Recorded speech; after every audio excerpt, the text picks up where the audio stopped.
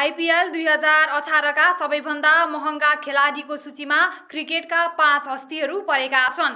खेलका आधारमा विभिन्न क्लबहरूको रोजाइमा पर्ने भएकाले यी पाँच खेलाडीहरू आइपिएल दुई हजार अठारका सबैभन्दा महँगा खेलाडीका रूपमा स्थापित भएका छन्।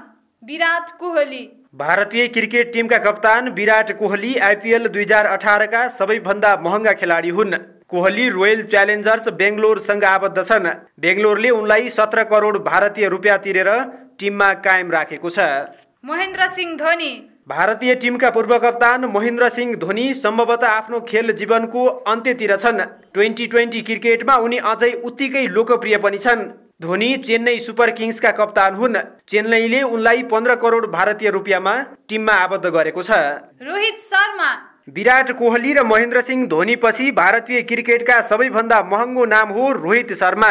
मुम्बई इन्डियन्सका कप्तान शर्माकै नेतृत्वमा यो टिमले गत सिजनको उपाधि जितेको थियो।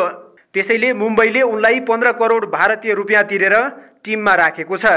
बेन स्टोक्स यस पटकको लिलामीमा सबैभन्दा महँगा खेलाडी साबित भएका छन् इङ्ग्लिस अलराउन्डर बेन स्टोक्स। उनी ब्याट र बल दुवैमा उत्तिकै निपुण छन्। राजस्थान रोयलले लिलामीमा उनलाई सर्वाधिक बाह्र करोड पचास लाख रुपियाँमा किनेको थियो।